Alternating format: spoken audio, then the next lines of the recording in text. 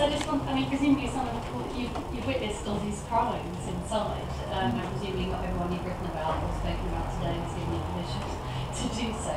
Um, do you fear repercussions arising from that? Yeah, when you just asked me that before I got here, you said, why are you doing, why are you doing karate lessons? yes, um, one of the characters in my book is Joe, and he was um, associated with the Aryan Brotherhood, and he gave me a lot of information on them, which I put in the book. And he said, they're pretty much going to have a hit out on you for this. So I'm relying on the fact that they're all felons and they can't come out here. um, but they're so powerful, you know, and they've got ways of contacting people. It's something I've got to watch out for, definitely. Yeah. Okay, thanks guys, thanks very much.